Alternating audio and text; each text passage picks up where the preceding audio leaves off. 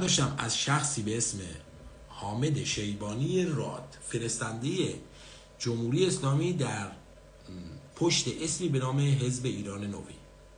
و این کارزار سه که الان داره صحبت میشه تزیه که سعید حجاریان داده. خوب دقت کنید. آی آدم ها که در ساحل نشسته شاد و خندانید. کارزار سه ماهه هشتک می‌زنید. حواستون باشه دارید چیکار می‌کنید. جمهوری اسلامی کار رو شروع کرده.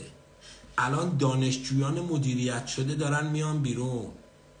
بازاری های مدیریت شده دارن میان بیرون. مال باختگان مدیریت شده دارن دوباره میان بیرون. معلمان مدرسه ها تعطیل شد تابستون شد یادشون افتاد دوباره دارن میان بیرون. دوباره یه اختلاس کم بشه مشکل ما حل میشه ها. دوباره اونه ها.